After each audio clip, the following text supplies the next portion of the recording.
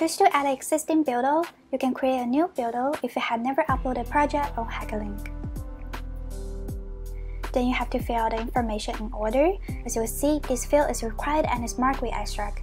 The project source must be one out of three choices, but the following column comes with multiple choice. Fill in the project vision, descriptions, image, and provide your Telegram to interact with your voters.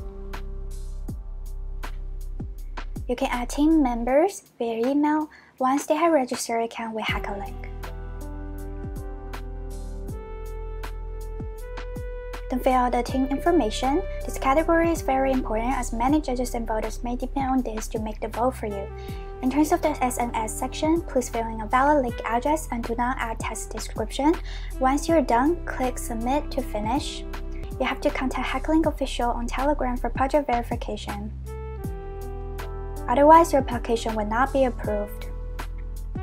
After registering a project, you will be notified with a message about the page. You can see your builder under review by accessing your account.